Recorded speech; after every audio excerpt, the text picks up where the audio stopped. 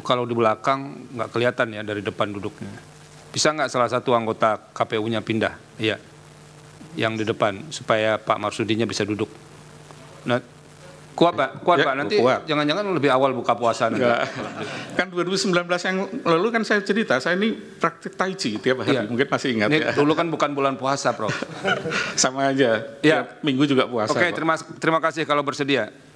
Eh, silahkan dari termohon mendalami apa eh, ahlinya. Ringkas-ringkas saja Pak Azim. Terima kasih majelis. Ada dua pertanyaan yang kami ajukan kepada ahli Prof. Marsudi. Yang pertama,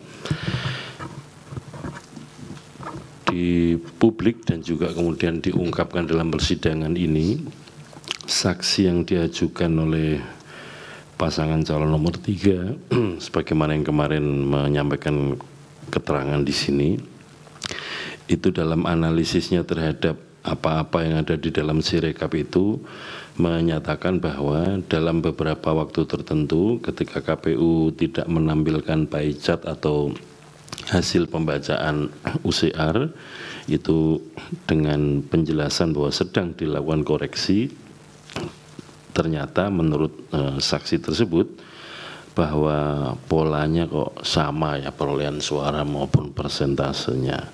Jadi kemudian eh, saksi itu berpendapat atau menyatakan bahwa ini sirekap seolah-olah kesannya sudah dikunci untuk calon tertentu presentasinya sekian, calon tertentu presentasinya sekian. Mohon penjelasan soal ini ahli. Nah yang kedua di Prof. dalam Marsudi bisa dicatat ya, nanti akan semuanya bertanya dulu baru Bapak eh, Prof menjawab. Yang kedua, sebagaimana tadi dijelaskan oleh ahli bahwa salah satu hal yang berpengaruh terhadap hasil pembacaan data atau hasil foto form C hasil plano yang kemudian diunggah ke apa namanya tampilan publik Sirekap dalam info pemilu itu itu adalah faktor apa namanya kualitas penulisan di dalam formulir tersebut. Nah, soal ini mohon dieksplor lagi Prof supaya kemudian kita sama-sama memahami sekiranya ada tampilan antara apa yang ada dalam tulisan dalam foto itu dengan hasil pembacaan UCR-nya itu katakanlah berbeda yang kemudian ketika dikoreksi publik atau banyak pihak menyatakan ini suara kok naik turun naik turun dan seterusnya atau berubah berubah saya kira dua hal itu terima kasih Terima kasih Pak Asim. Silakan dari pemohon. Siapa yang mau mewakili? Satu Mas Bambang, yang lain Refli Harun. Silakan. Terima kasih Prof. Prayudi. Ada beberapa pertanyaan Prof.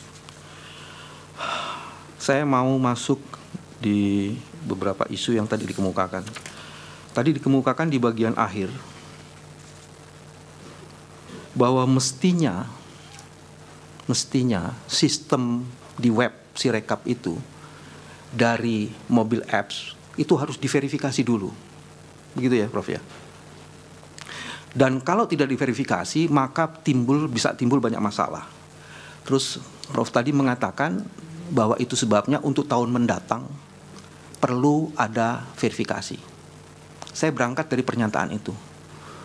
Apakah dengan begitu dapat diberikan pandangan si rekap ini bermasalah karena tidak ada sistem yang verifikasi itu?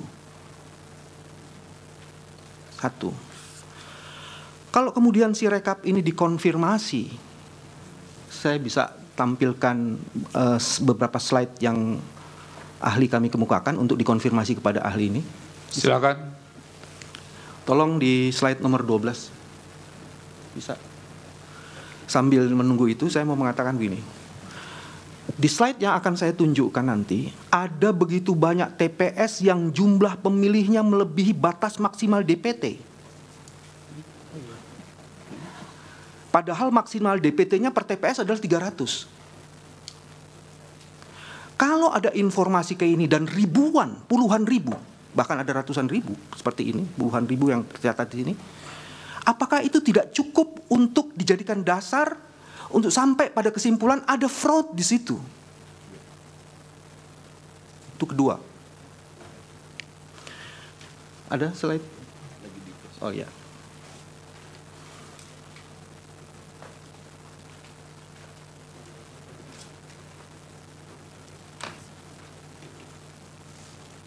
Bisa.